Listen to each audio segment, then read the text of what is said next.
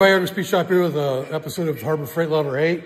So I was in there today and these were sitting by the door and I just destroyed, well not destroyed, it's, it's still mostly good, cleaning up the, uh, the window frames for the Firebird.